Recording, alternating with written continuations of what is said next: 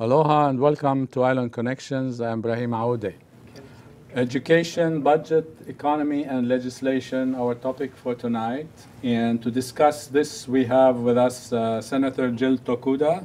She's chair of the Education Committee, um, Senate Education Committee. Uh, we have um, Senator Will Espero, he's chair of the Public Safety and Intergovernmental Affairs Committee and he's also on other committees as well, including the Ways and Means in the Senate. And uh, Senator uh, Tokuda, you are also on the Higher Education Committee as a member. Yes, and Ways Yeah. and Means as well. Yeah, and all Ways and Means as well. Very good. So that's why we put uh, the budget in uh, the mix of uh, this in the title. And uh, Professor Okamura is also on the curriculum committee of the Department of Ethnic Studies. Uh, but he is um, uh, a keen observer of the uh, lo- of local politics and also global politics. But now we are talking about uh, local politics, and he has written uh, a number of books and writing a book uh, this uh, as we speak, uh, so to speak. And uh, so we shall have uh, some discussion about now that the um, legislative session has ended. Okay, well, what is it that uh, you know we're waking up to? What in terms of the politics, the economy, especially in terms of education and you know and its relationship to the budget, relationship of the budget to the economy, and uh, what uh, uh, th- things uh, were in your minds as you were talking uh, and trying to vote and discuss tho- those kinds of legislation. Would you like to start, Senator Tokuda? Okay, I, I- can start there. You know, definitely, I think with the closing of the legislature last week, it feels like quite some time ago, though. Um, I think we did end off on a very high note when it came to education in terms of the kind of opportunities that we've created, all the way from early learning through higher education, for us to really um, change the game. And from early learning, we passed the constitutional amendment bill that will put a question before voters in 2014 asking how we can approach our publicly funded early learning system and if we can partner with private providers. Mm-hmm. This is very significant. This is going to take Hawaii out of being of the minority of states that do not publicly fund early learning. Mm-hmm. So this is a very significant step. Mm-hmm. We also put in place a school readiness program, which means that we are going to be creating opportunities for our youngest keiki. In the K-12 system, we really looked outside of the box when it came mm-hmm. to how we're going to create 21st century schools to change the way we teach and the places in which we teach, bring communities in. And that was the 21st um, mm-hmm. century schools bills and the public lands bills mm-hmm. that you saw pass. And for higher education, there was a lot of debate and discussion, and I think that's going to probably continue well on past session. Um, but we did also talk about various issues relating, relating to accountability. But one of the big things that we did pass was the state authorization uh, legislation that I've worked on for the last three years. What that did was made sure that Title IV federal student aid for Hawaii students was safe, and that was something that we had to pass by this session. The legislature did, in fact, do that. So, across the board for education, huge opportunities, huge gains. Um, Senator Espero, could you like elaborate on this and uh, what other bills uh, would you like to talk about um, in terms of public safety, the budget, and so forth? Well, budget-wise, uh, we're fortunate that uh, we didn't have to be too concerned like we were in previous years. You know, two, three, four years ago, uh, we had to look at the budget from the perspective of cuts. And uh, we, we had some billion dollar cuts within our system um, across the board statewide. Uh, this year, um, that wasn't the case. Uh, last year, we had a record year with tourists, and our general excise tax revenue was up. And the last Council of Revenues also gave us a very favorable number in terms of the revenues that came in. Um, one of the big budget items that we were watching were the uh, collective bargaining figures for our public unions. And that was one of the big issues that uh, we had to wait till the very end because depending on the numbers and what was approved and negotiated, you know, would determine what we would have left over for our other CIP and bills and, and the budget as a whole. So this year, um, as Senator said, we were able to provide some funding in education. We put some money into UH CIP as well. And overall, um, uh, we were able to um, look at the past um, takeaways. For example, we took money from the rainy day fund. Uh, this year, we were able to put money back in the rainy day fund. Uh, we um, took some money out of the hurricane relief fund. Uh, we were able to put $100 million back in the hurricane relief fund. And we looked at the um, unfunded liabilities for our health care for the um, government workers. And we created a formula, the first in the nation, uh, where we'll be taking money off the top of the revenues in the state and also the counties as well to deal with our um, billion dollar shortfall in unfunded liabilities that the state has to pay. So we're now able to to be a little more proactive and, and shaping the budget in a positive way versus thinking nothing but cuts. Okay, great. Uh, before I go to Professor Okamura, um, I interviewed uh, Representative Roy Takumi uh, on Monday, actually, and so he's, uh, he was unable to come here, so I went to the legislature uh, to do so. And he's talked about uh, some of these um things that uh, we have uh, so far mentioned. So we'll do that, and then we'll have uh, Professor Okamura uh, talk more, and then we discuss what uh, Representative Takumi had said. So we'll go to that one, and then we'll talk. The first bill that we have is the constitutional amendment. So in the 2014 election, the voters will be asked, would you support using public dollars to be used for private preschools? Now, 40 other states have a state preschool system and they operate in this fashion. Um, I know the teachers union said that this is vouchers, but actually it's not vouchers because you're basically saying, here's some public dollars and you as a parent can put your child in this preschool, but only this preschool or that preschool. A voucher is I give you money and you can just take it anywhere you want. And um, I'm opposed to vouchers, obviously, for K 12 or even at the university level, but preschool is done by the private sector, just like construction, um, jobs like that. You know, we don't have state workers building bridges and so on. We contract that out to the private sector.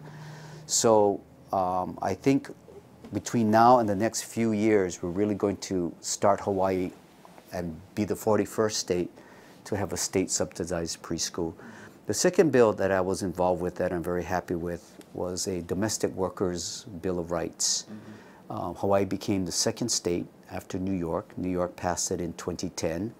So for the first time in our state, people who work in people's homes will be protected under the law against discrimination, and they will also fall under our wages and standards law. So they have to get paid the minimum wage, they have to get paid overtime if they work more than 40 hours in a week, and so on. Uh, these are workers that traditionally do jobs like housekeeping or caretakers, people like that. For many, many years, these workers had no protections.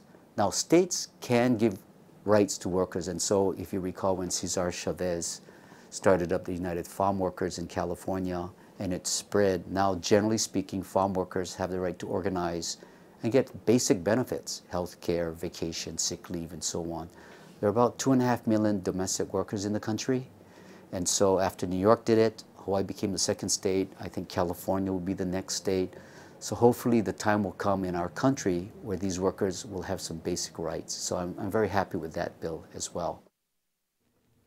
Well, here we go. I mean, he like elaborated a little bit about uh, on some of the things you mentioned in terms of uh, early childhood and so forth. So, um, Professor Okamura, any comments on what you have heard thus far? Well, when I first heard about this proposal, one of my concerns was the DOE schools are already underfunded. So this would be a further drain on the funds available for K to 12 education. But the benefits for preschool education have been established, and this is a way to, uh, I think, uh, provide minority students, particularly, that advantage by having access to preschool, which is very expensive. It's, it's just like sending your child to a, a private school in kindergarten. So this is one of those means I see as providing for that equal educational opportunity and doing it through uh, the state providing that kind of access. And like Roy says, it, the, these are all private schools that operate the preschool, private institutions that operate the preschools anyway. So uh, that's how the money has to be allocated to them. Yes. So, The other, the other thing is funny is uh, uh, if I could comment about that bill uh, providing those benefits to um, domestic workers. More than 40 years ago, I was a gardener at uh, Doris Duke's estate on uh, Black Point. And whenever she came to Honolulu, we'd have to work Saturday mornings raking leaves. And we would not get overtime. And I couldn't believe it because uh, I, I've been working in California before, and we'd always get I'd always get overtime working more than eight hours a day, more than 40 hours a week. And uh, I found out it's because I was classified as domestic worker. Even though I mm. didn't go in the house, I was mm. working out in the yard. But the richest woman in the world figured out a way she could rip me off, me and the other guys. That's why they were rich. yeah, She, she doesn't like to squander her money. absolutely. I was getting minimum wage anyway. Yeah, no.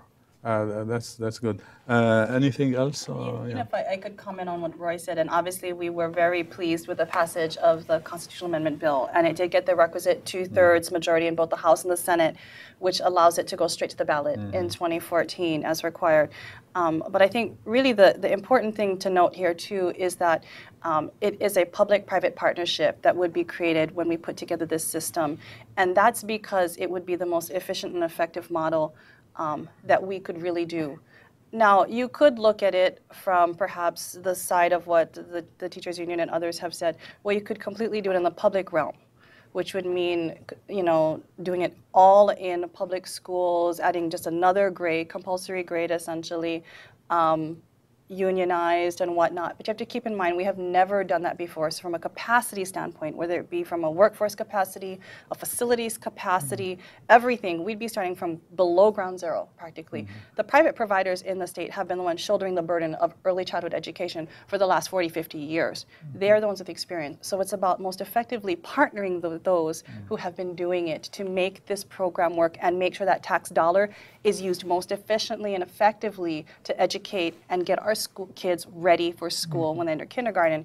And I think it's important to note too that as we build this public-private system, that's not to say that we may not have some kind of public portion involved. And that's something that we're working to create as well because you will have communities where private providers do not exist and we'll mm-hmm. have to create mm-hmm. something. Mm-hmm. But it's about having this option available to us. And that's what Roy was talking about is that in 40 other states across the country, you've got those kind of partnerships available. But we are a strong Blaine Amendment state, separation of church and state. So we've got to do this mm-hmm. con am mm-hmm. to give us those opportunities and options so that we can most effectively stretch that state taxpayer dollar to serve the most amount of children across the board so that no mm-hmm. matter where you live, no matter what your social economics are, you can have those opportunities to be ready to learn and be ready to succeed. And I think that's really, it's going to take a lot of education to get to that point and building the system, but that's really what we're trying to work towards. Yeah, but um, if I may say, so long that, uh, so long as the uh, private uh, system, private school system,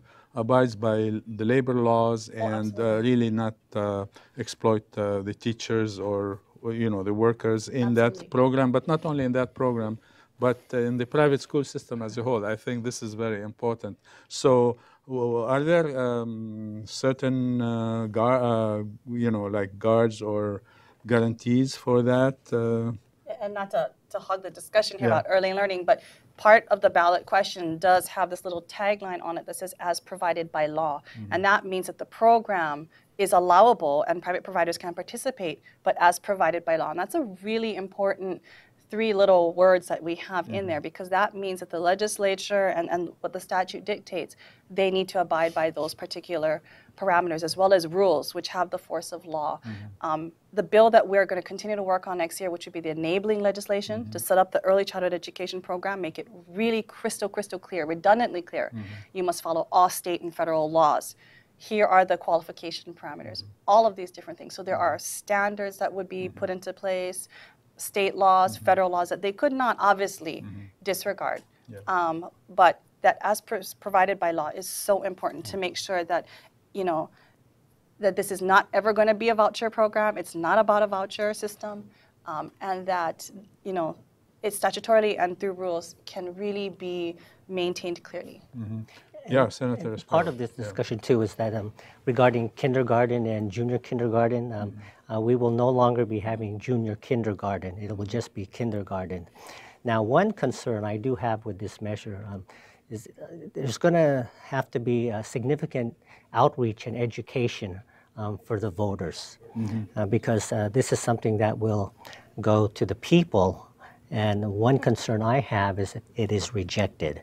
So hopefully there will be the advocates and the people that support this, so they clearly um, allow the voters to understand how the money will be spent and like the, the concern you brought up about following the laws and the impact on the private um, religious schools, for example, that has come up. So uh, the, the outreach on both sides is going to be very important on this one. Yeah. Uh, Representative uh, Takumi also talked about uh, what you mentioned earlier about the improving economy and the, how the funds were replenished. I want to play that quickly. It's less than a minute, and then we move forward from there.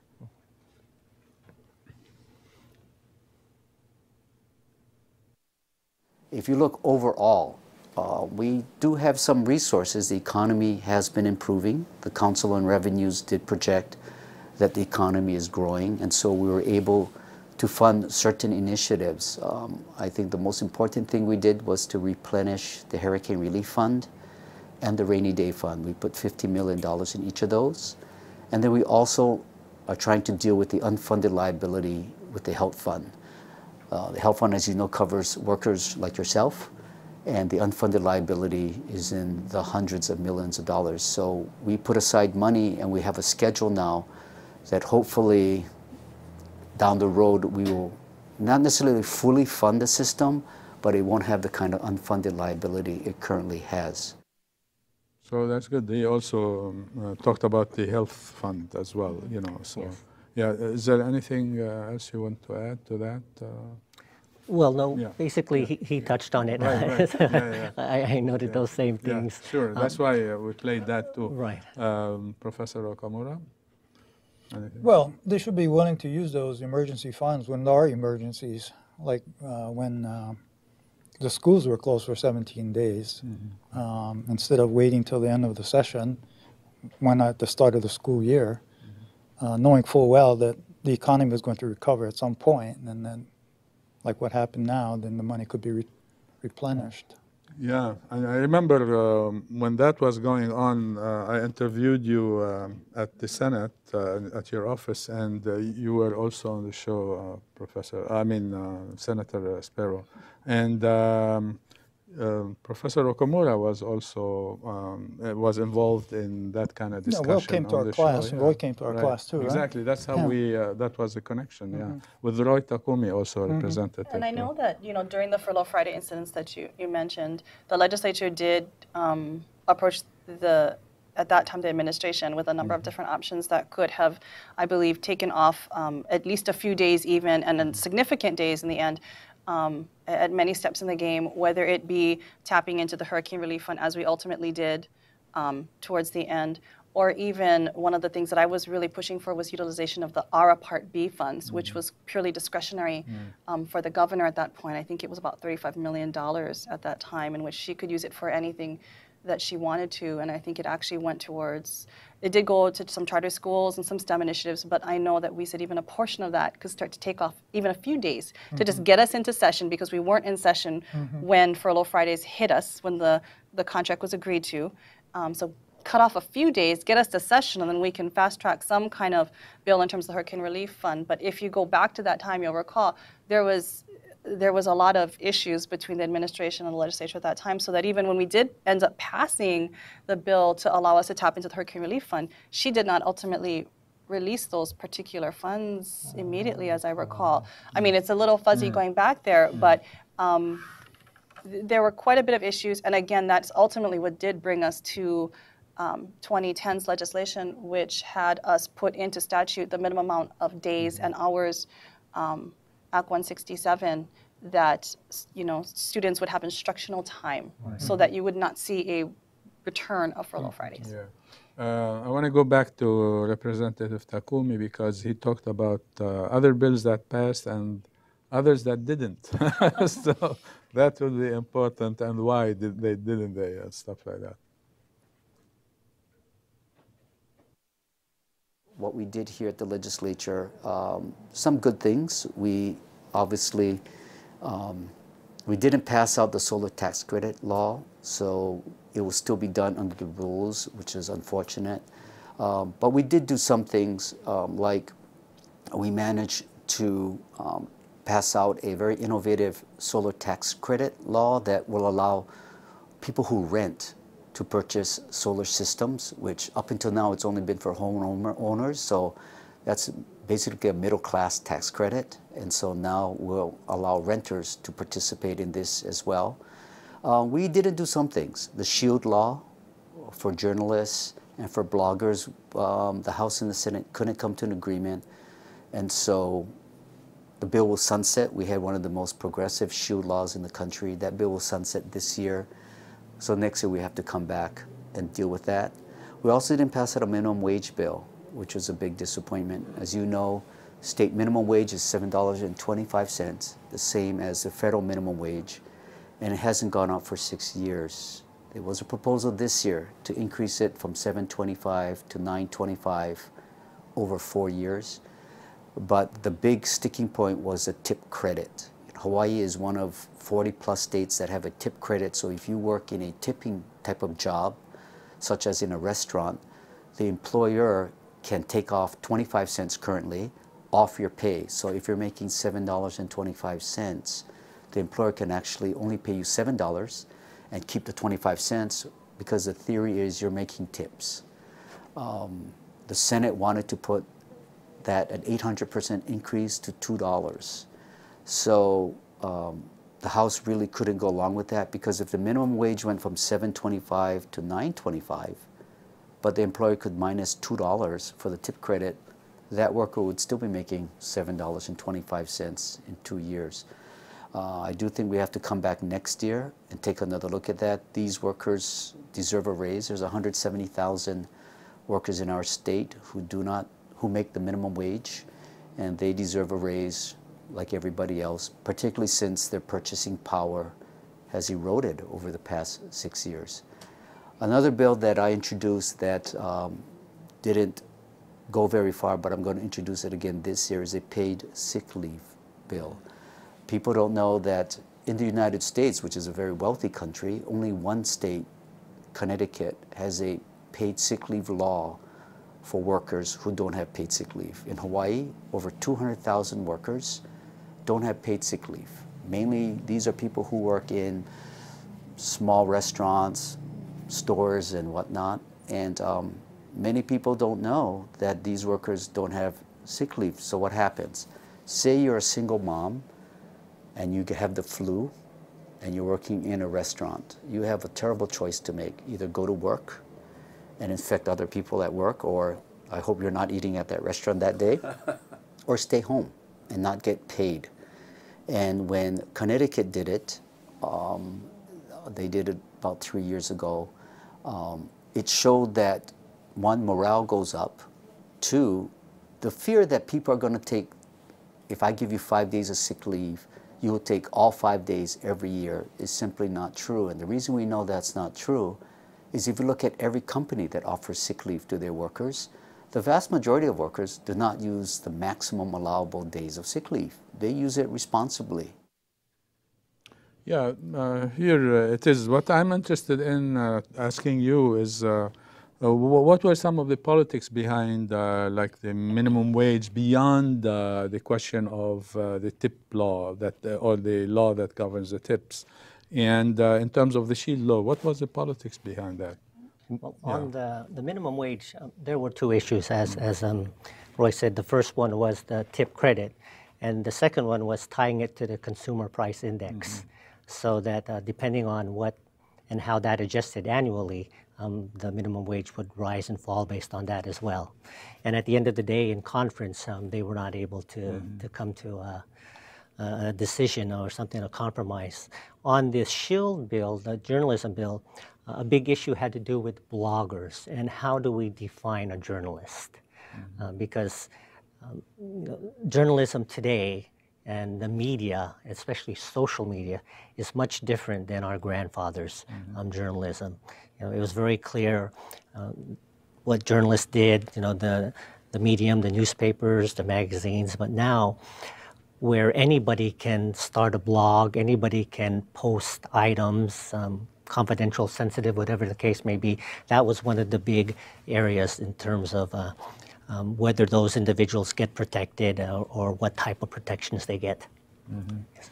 And you know, I, I would add too that um, if you take a look at those particular measures that, that did not pass, those are very controversial issues. Obviously, those are not simple issues. They're very complex. They've got many parts to them. And I would just say, generally speaking, um, as chairs of committees um, with our counterparts in the House, um, a real important thing to remember is that um, much of the negotiation, much of the work on the bills actually takes place not during session, but in the interim period that we're in right now. And so, you know, if it doesn't pass in the very first year or even the second year, you know, it's time like this right now that needs to be focused on in terms of really starting to develop the bills. I'm very fortunate that Roy and I have a very good working relationship. I mean, we spend all the interim working on the various measures, going through the details. So by the time we actually start session and the bill is introduced, it's fairly, you know, it's been worked through. We've thought this through. We've worked with stakeholder groups. We've had many discussions with concerned individuals. We, we know different angles. Um, and so it's, it's much more mature at that point. And for many complex issues, that's really what it takes to help work it through the process is that good relationship with your, your counterpart um, from the subject matter perspective, as well as working it constantly, I think, throughout the interim, because um, I think many people think it just is from session to beginning to end. But actually, this is a, a very critical homework period that we're in right now during the interim when we do a lot of our research about best practices across the country, um, what might work well locally, gathering stakeholder groups together, hearing their concerns, addressing them, and we do much of our work now. I mean, I'm working on bills for next session already, and we just finished last week. So it's not only four months. Right, right. yeah, go ahead. And let me add too, for some of the bills that uh, didn't pass, um, uh, because the economy was doing fairly well, uh, we didn't have to raise the general excise tax. Uh, there was also talk of possibly raising the transient accommodation tax, the TAT. Um, however, we did not do that. However, we did make the 9.25% permanent um, versus lowering that. Um, the issue of GMO labeling was um, was quite um, uh, quite loud, uh, but uh, nothing happened there. And a measure that I introduced, if I may note, uh, had to do with um, red light cameras uh, and running red lights. Um, And that bill made it um, all the way to conference, which it had never done in the past. However, um, it did stall in conference, and, and we'll see whether that has any chance next year or not. Uh, but we did repeal the PLDC, the Yeah, Public Land right, Development yeah. Corporation. That very good. yeah. yeah, that was uh, an issue that we passed last year. Um, however, uh, many people rallied against it, although the intention was good. However, um, we got the message and we felt that, okay, let's relook at it and, and see if we could make it better. Uh, but at the end of the day, we just ended up repealing it. Um, there was an, also an effort for a public private partnership authority. Um, some people, though, said that that's similar to the PLDC, which it really wasn't. But again, uh, we decided not to pass that, and you know, more discussion, as the senator says, can be um, had um, in the interim to see whether we could come up with a, a bill that, that might work. Yeah, because on the PLDC, since you mentioned that, um, uh, that was good that it didn't, uh, you know, I mean, you repealed that. But uh, in terms of the idea of public private kind of entity, uh, I think, you know, from my perspective, uh, natural resources and these kinds of resources that are like uh, basically uh, owned by the community, let's put it that through the state. Um, I think uh, it would be best to keep it like uh, public because when you have uh, public uh, oversight uh, on it, uh, not only in terms of hearing, but you know, public uh, really uh, can uh, make decisions on that. It's better to um, you know have just uh, it in the public realm so that it can be protected and no other like uh, extraneous kind of interest might uh, intervene and uh, might do damage without uh, uh, we knowing about it. Example, the PLDC, you- it was well intentioned, but you, uh, you had all kinds of problems. Well, I think the problem there was the outreach and uh, education um, to the public. Um, uh, many senators still think it's a good idea and they like to revisit it. Um, however, you know, there is no intent to to just turn things over to the private sector and let them do what they want, or to exempt them from environmental laws and other issues that are of importance. So, uh, you know, it's possible that something can be reworked, but again, it's going to take some time in the interim. Yeah. Uh, another thing, uh, like um, I wanted to say in terms of the uh, tip credit uh, law, I mean, if that was a hurdle uh, for you not passing the minimum uh, wage, for instance, is there might there be a way uh, in which we can like, uh, or the tip credit law might be adjusted or something in such a way that uh, would make it uh, reasonable and logical to pass uh, minimum wage law, make it higher from 725 to whatever it is. Yeah. Well, Um, I think the good part is, you know, we're at the beginning of a biennium period. Mm-hmm. And what that basically means is bills that um, failed to Mm-hmm. pass this year, as long as they were not um, voted down completely, Mm-hmm. will basically come back to life at the beginning of next session, right where they ended up. Mm-hmm. Um, for bills like that, we now know what perhaps some of those sticking points were Mm-hmm. And some of those areas of concern. So hopefully now would be the time to really start looking at those issues, mm-hmm. start to look for some compromises mm-hmm. and what people could agree upon so that when you get back into session in mm-hmm. 2014, you starting off at a much greater point, hopefully with some real agreements that everyone can just sit back down in conference and go, okay, we're ready to come to, to some agreement now. You know, we can we can pass this. So, um, in some respects, it's very good that we're at the beginning of the biennium because it gives us, um, you know, another chance, hindsight yeah, yeah. to be able to really now perhaps do even better and, and complete the job i- in, the next year. Yeah. Um, Professor Okamura, any comments on that or other bills that passed or didn't pass? Well, as we were talking earlier, the one that we're concerned about was uh, not funding the faculty raises. Not, not because I'm, I was counting on it. We haven't had a raise in four years. Yeah. But I know what's going to happen. They're just going to pass it on to the students. That's where the money will come from, the tuition that the students are paying now, the increase over the next five years. Yeah.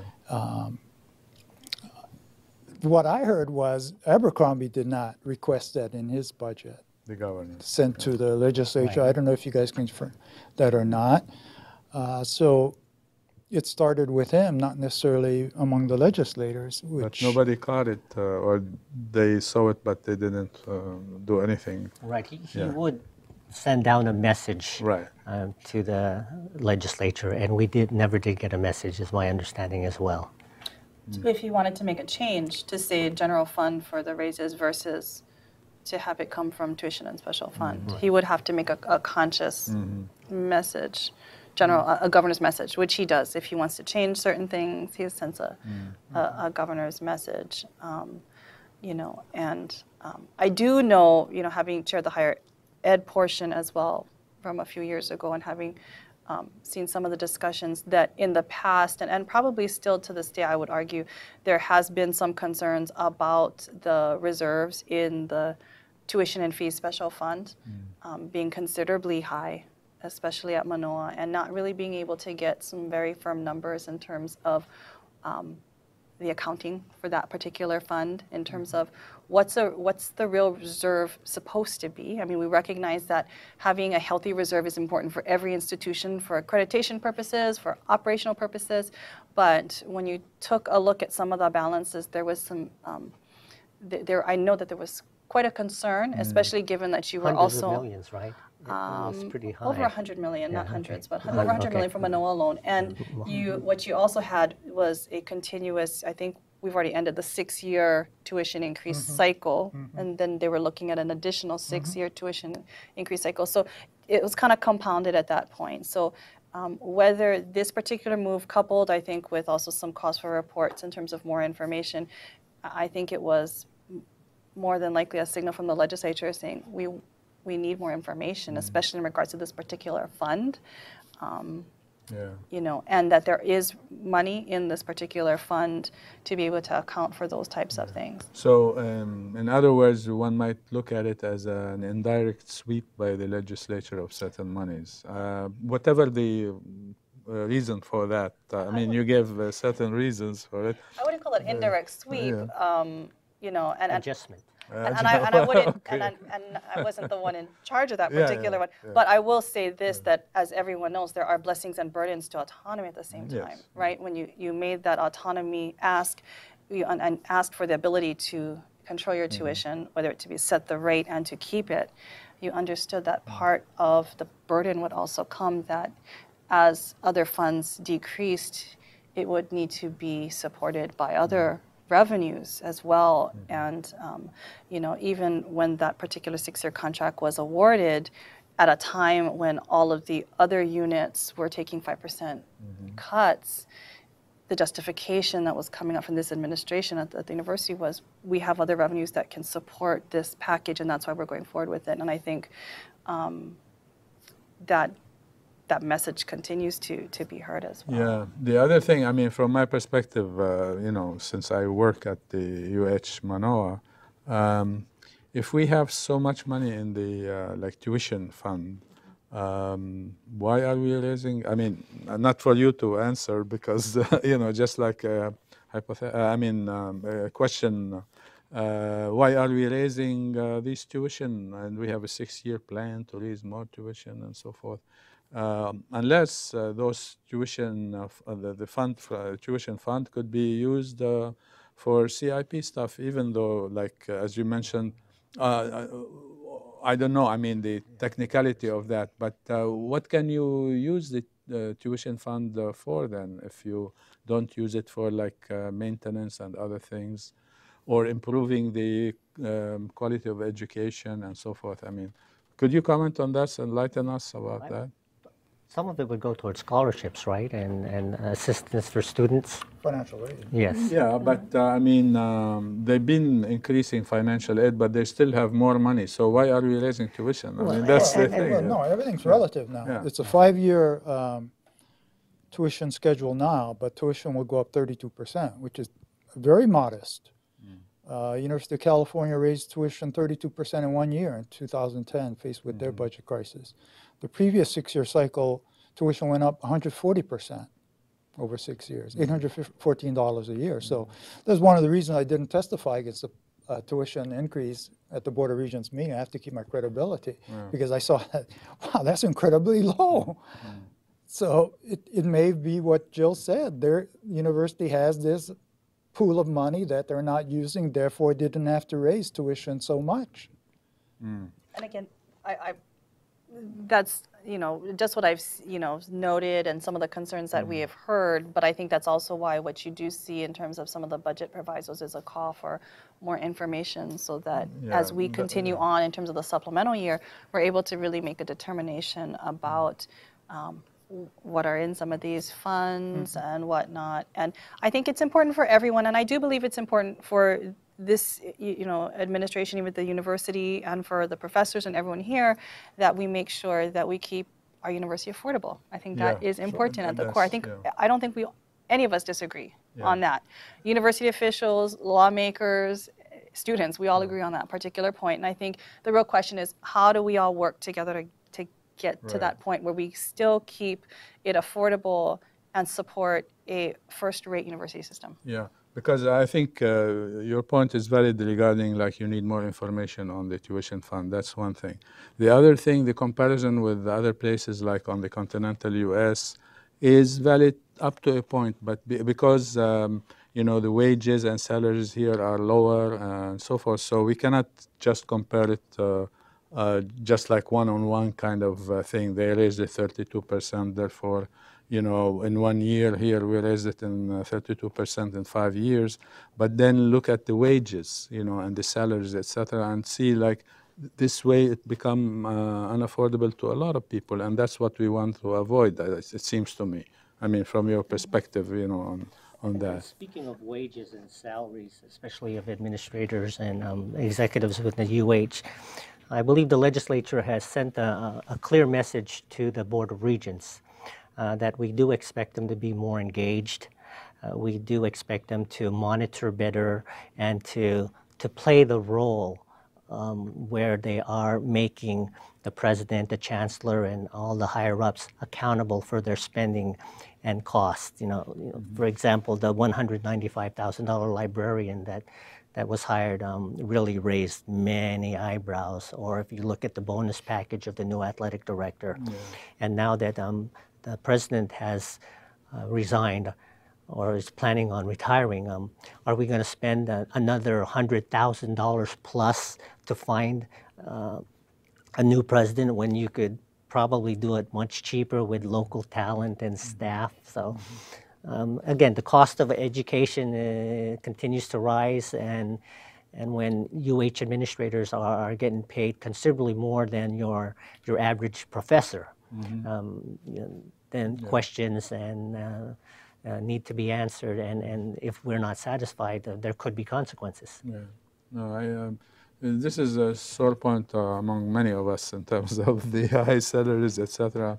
And to my, uh, from my perspective, squandering of money in, uh, like you know, headhunters and so forth, and other uh, other things as well. You know how money is squandered. So a lot of people uh, are not uh, satisfied with that.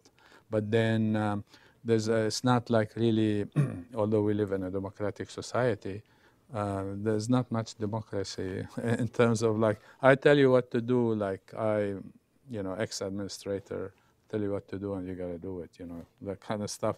This happens. I mean, I'm sorry to say, despite that we have like a, uh, you know, uh, uh, uh, uh, Senate, uh, you know, faculty senate and stuff like that, but.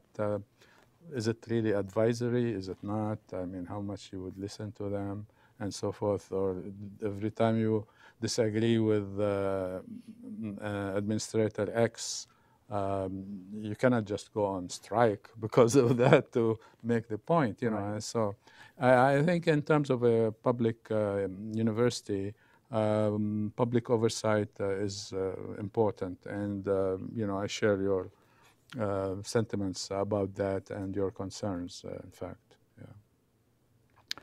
So, um, I, to talking about the budget, um, I want to go to Representative Takumis, and he talked about budget agreements and how effective and efficient this legislature has been this time. So, uh, we'll see, and then your comments would be appreciated as well. You know, there was a big change. In my first years in office, the budget was done in a very efficient manner, but over the past, I'd say 12, 14 years, it's really become very contentious and it would go until very late at night. And the finance committee hearings used to go until two or three in the morning. But I think uh, Sylvia Luke, who's the new chair of the Finance Committee, ran it very efficiently. She worked very well with Senator David Ige, the chair of the Ways and Means Committee. So they actually agreed on the budget three days before the deadline, which is a, it's very unusual that they do that. Usually you just wait to the very last minute and then you come to an agreement. So that was, I think, a very positive sign that um, people, we can work together and as long as we keep in mind it's really not our budget, actually. It's not our money. It's, it's the taxpayers of this state, and we owe it to them to be responsible and to come to some agreement on where these dollars should go. Um, the final budget came in about $250 million less than what the governor had requested. So even that showed a level of fiscal responsibility uh, because even though the economy is getting better, tourism is going up, the costs, uh, the sales of homes and cars, which is usually the indicators to show that the economy is improving, um, is also going up. But we're still should be prudent and cautious, and we'll see next year where we are. Yeah, any comments? Yes, we must be prudent and cautious. Uh, That's certainly the case. Uh, you know, At the federal level, there's much going on, and the sequestration issue is still being debated and discussed. And with the um, passing of Senator Dan Inouye, um, our our influence in Washington D.C. Uh, has diminished, and we're probably not going to be getting uh, the appropriations we had gotten in the past. So uh, we do have to still tighten the belt, and hopefully. Um, the recovery will continue, although it may be slower than we all want and expect. But um, you know, I'm hearing that um, we're getting a certain amount of Chinese tourists coming in now. Um, they're making real estate purchases that they weren't making before, and, and there are some promising signs. Yeah. Um, uh, the, the the other thing is that um, we, um, since like uh, Hawaii became a state and even before, uh, we were, we have been relying on tourism, um, maybe construction, military, and so forth, which are important uh, uh, legs of the uh, economy. But uh, uh, could we do something else uh, in terms of the economy so that we can have like more revenues, etc., beyond the uh, tourism and beyond uh, the military? Although the military brings in money, but now with uh, again Senator uh, Inouye not here, might bring fewer dollars than before. I don't know. I mean, but is there any way like you folks are thinking about uh, to uh, improve the economy and uh, like broaden uh, the base? You know. Well, I know that what we did do is invest um, $6 million into our, the high growth initiative as well, which is really starting to look at the development of new industries um, here in Hawaii from a venture capitalist perspective. And that's, I think, really going to be able to dovetail and work well with the innovation initiative that the university has really taken on. And I think we can't. Um, ignore the fact that the university system, and not to play to both of you, i- isn't a strong economic generator as well. I mean, you take a look at it from a research perspective, you know, we're bringing in over $400 million of research into this state. Um, at this point, I think last year alone, we're probably going to go close to half a billion dollars this year. Um, through the system. I mean, that's really mm-hmm. significant. We're actually right there up with Berkeley at mm-hmm. this particular point as a Research One institution. Mm-hmm. So I think you take a look at the ability for that to be able to create jobs, spin off new industries, knowledge based industries. Um, that's huge. And that's, I think, where we should really be applying a lot of the focus. And I think with the high growth initiative, with the initi- innovations initiatives that the, the campuses are doing here, with the, the research coming in, that has, I think, the most potential for us to really start to move forward. Um, it's also great that we actually have a chief information officer for the state, and we're starting to really put money and investments towards our state infrastructure, our IT infrastructure, so that as we get these knowledge-based industries and we get all of this going on too, we're going to have the capacity to support all of that. And so um, I would say perhaps that's going to be the next leg of the stool that we're looking at to support the economy, um, not negating the other ones, the traditional ones that have held us up, but definitely looking at those sustainable industries that we've always talked about. But I think finally you're starting to see some real numbers, especially like I said, when you look at the fact that you know the UH system is bringing in close to half a billion dollars in research. Um, that's not just test tubes and microscopes. That's mm-hmm. real dollars. That's mm-hmm. jobs. That's coming into the state, mm. and I think the potential for that is astronomical when you think of, you know, TMT and other things as well mm-hmm. that can go so much higher. Yeah, especially when tourism, like uh, a lot of minimum wage jobs are in tourism, etc. We don't want those ones to, uh, uh, you know, to increase necessarily. We need We other high-paying Yeah, jobs, yeah. and I think that's what those knowledge-based sectors Right, that can give right. Yeah, and in terms of diversifying our, our economy, we've, we've been working on diversifying our economy for many years. But you know, tourism, the military, and construction will, will probably be the troika of um, jobs and the engine that moves forward. But we're also investing in, you know, agriculture and uh, sustain, sustainability, you know, technology, um, aerospace. Uh, This year, we put some money in to building our fashion industry. Uh, we are looking at um, increasing the tax credit for the film industry, which enhances tourism and complements tourism. You know, we've been trying to get more sports events and other um, um, events that um, can bring international um, tourists and those from the mainland. So there will be multiple, many niche markets that we can support. But um, from my perspective, you know, tourism will, will always be our golden egg. Um, But uh, a big one that's coming up, for example, hopefully within three to five years, you'll be hearing about space tourism. Yeah. And with space tourism, you know, now we're dealing with STEM, science, technology, education, and mathematics, and, and robotics, and, and space exploration. PISCES, um, a program um, on the Big Island that's looking at lunar research and space exploration. So there are opportunities for us and areas that we can um, certainly um, take advantage of being where we're located, um, that bridge between Asia and the mainland.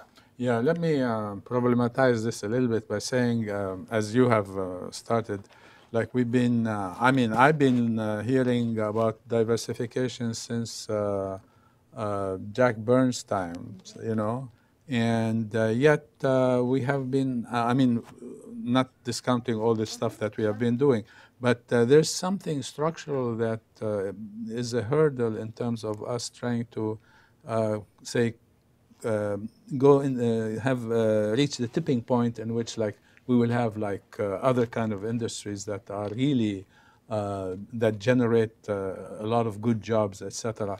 So I, I don't know how what would you say? What, what do you think about that? I mean, the structural constraints that we might have, you know, in terms of the economy, um, because I mean a lot of stuff uh, that uh, Hawaii uh, is like uh, cannot uh, initiate, uh, you know, in terms of global economy, et cetera, et cetera. It's subject to the whims of the global economy, if you will. Other people who are, uh, or other players, big corporations, et cetera, that uh, really um, call the shots. And so, how would we be able to figure something out to uh, go to the tipping point and have a better, a better uh, jobs for a lot uh, more people than we are generating currently. Well, I, I think that's where you have to to find that niche because you know, the world does not rotate around Hawaii.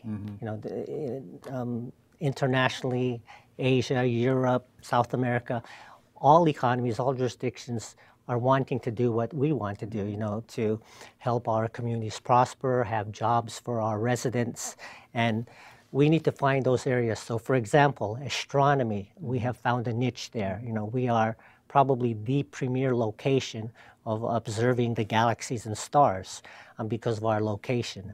So, it's areas like that that we need to identify mm. and see where we can make it benefit us.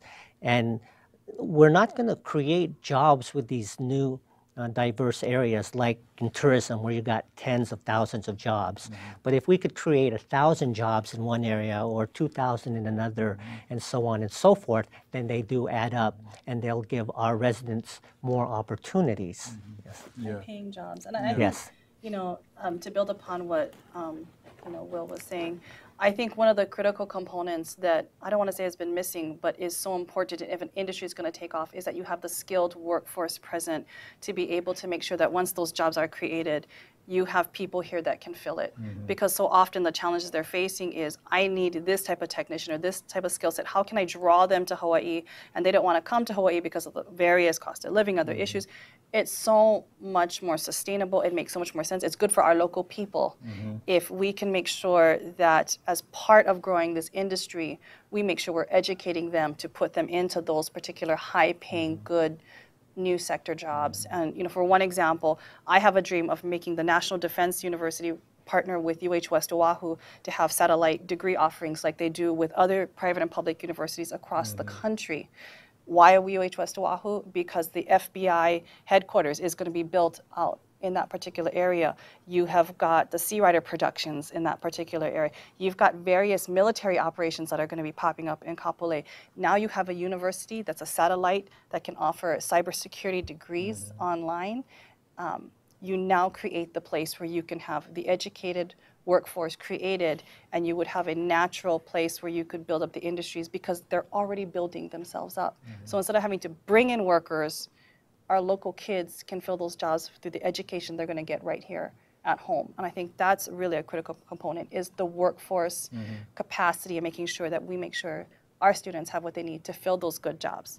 Professor Okamura, I mean, comments on that. Well, I think one of the uh, areas that could really be developed is a cancer research center, or the kind of vision that uh, Dean Cadman had before at the School of Medicine for making that into a university research park. Unfortunately, because um, his own illness, that vision never really materialized. But uh, that to me was really the kind of area in which uh, we create, create these knowledge intensive jobs for young people, like you just mentioned, uh, who graduate from the university and can go to work in places like that. Uh, about a year ago, I met a student graduated from chemistry from Manoa, and she, she got a job at the Cancer Research Center. So mm-hmm. it's, it, it's exactly that kind of situation that I think we need to develop. Having said that, why doesn't the governor put more money into the university then? Everybody knows this. Mm-hmm. The university is brings in more than a million dollars a day to the mm-hmm. economy of Hawaii. That's the difference between the university as a state agency and every other state agency. Their responsibility is not to generate funds, but faculty do this. That's one of the rationales one can give is why we got our uh, pay deduction return as compared to all the other public worker unions. Having said that, then, well, the governor should support the university with these kinds of monies for developing these kinds of areas to diversify the economy in areas that the expertise already exists here. One of our cameramen is already here in computer science. Yeah. You know, this is the kind of people looking for a job after they graduate. Yeah, and then like creating uh, more jobs, like 1,000 here, 300 there, etc. That would uh, really uh, uh, make a dent in uh, fighting poverty. Uh, so what I wanted to ask, like uh, in terms of legislation or uh, funds that were given to um, nonprofit organizations that really try to alleviate poverty, etc. Anything has anything been done uh, on that? Yeah. Well, we did, I believe, um, was $10 million in GIA? dollars in operating. Right, uh, where we fund nonprofits, um, but uh, across the whole spectrum. Um, for example, um, if I may just read a few, Yeah, um, sure. you know, Bishop Museum Energy Improvements, $2 million. Oahu Veterans Council, $2 million. Seagull Schools Child Care, $1.2 million. You know, Hawaii Public Television Foundation, $2 million. Uh, the Those are young, the capital ones. oh yes, yes. So, so we had granted aids for the, the capital improvement for the bricks and mortars, you know.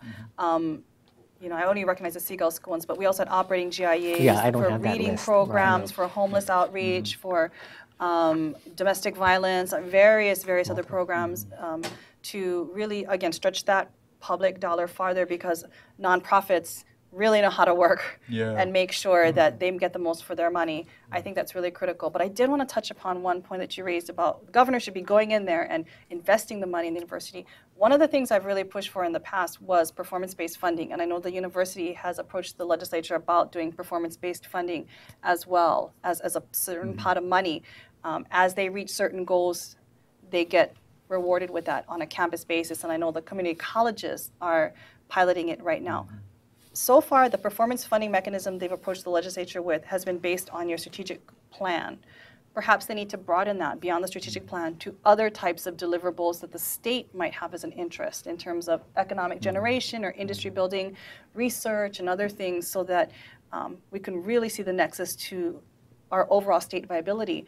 Um, because I think performance based funding would be perhaps an excellent way for us to really start to put some real dollars towards investing in the university, and you could really start to see the return on investment Yeah. there. We So have yeah we have uh, less than a minute, uh, but uh, you know hopefully like um because this is the beginning of the biennium, um, hopefully like the wage uh, increase, uh, the minimum wage increase would uh, happen, and try to uh, get rid of all those hurdles uh, through compromise or what have you.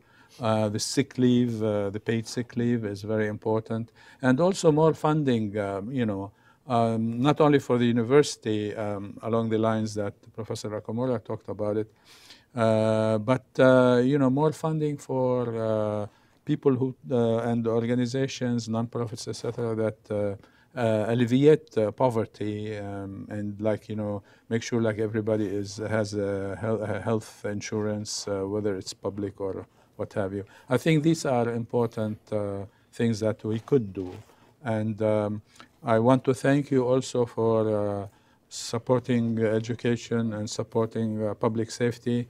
And I heard um, that you're gonna uh, you thinking about running for Congress, or yeah, We're having some serious discussions with Okay. some people Great. now, and Yeah. we'll see. wonderful. Thank you very much for, for coming. Thank you for uh, our viewers. Uh, mahalo loa. We'll see you uh, in the fall. Thank you.